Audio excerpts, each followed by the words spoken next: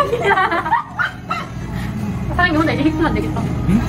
나 이제 힙스만 들고 해야 돼. 아빠.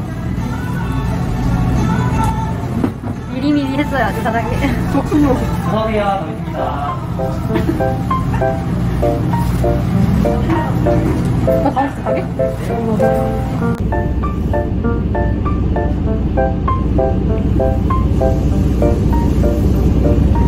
응.